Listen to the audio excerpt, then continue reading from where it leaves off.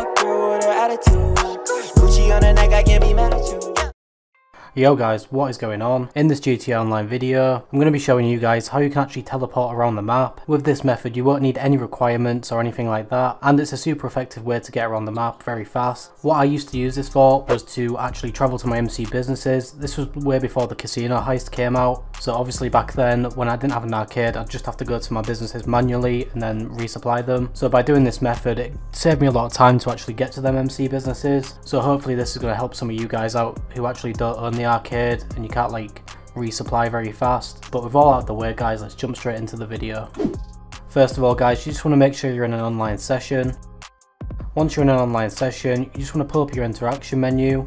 Once you guys are in your interaction menu, you just want to scroll down to hide options. Once you get to hide options, you just want to press jobs and where it says all jobs, swipe it to the right so it says custom. All this is going to do is show every single job on the map and this is what we're going to be using for the actual job teleport. Now you guys can just back out your interaction menu. All that we're going to be doing now is just opening up the map and now you just want to look for a job which is close to the place you want to teleport to.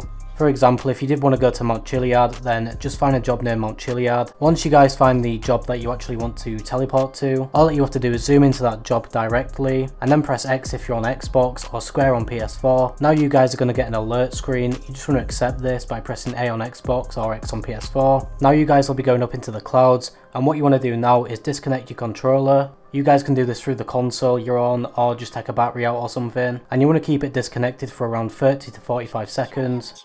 Now after you guys have waited around 30 to 45 seconds, you might be able to hear like the surrounding area that you've just teleported to, or you'll hear like a little blip of like the job. If you guys hear the blip of the job, that means you've actually left the job, which is what we wanted to do. All that you have to do now is just reconnect your controller by putting the batteries back in if you took them out, or just connect it to the power. And as you can see, we've actually teleported to this job marker.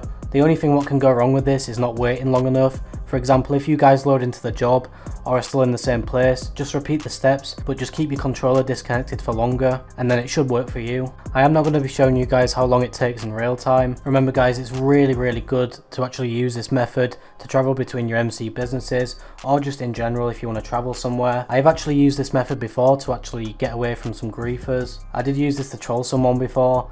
They were coming after me in a jet for ages because I killed them once and then I just used this method to teleport across the map like twice and he just came after me all the time. So all in all guys, it's a very good method, definitely recommend you use it. I hope you enjoyed this video, if you did be sure to smash a like as it shows your support for the channel. We've just recently hit 3000 subscribers which is just insane to me. Once again thank you guys for the support, be sure to subscribe if you're new and hit that bell icon to stay up to date with more GTA Online content. Finally guys, stay safe and thanks for watching.